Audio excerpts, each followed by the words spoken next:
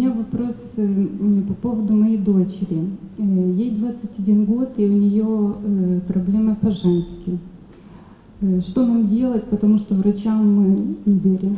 Какие проблемы по-женски? Ну, у нее нерегулярные месячные идут раз в полгода, может. Ей нужно бегать, йогу делать. У нее там застой и напряжение сильное. Застой и напряжение. В секцию ходить, гимнастику делать, йогу. Нужно убирать застой движением. Плавание лучше всего подходит. Плавание супер вообще. Мгм. Спасибо большое.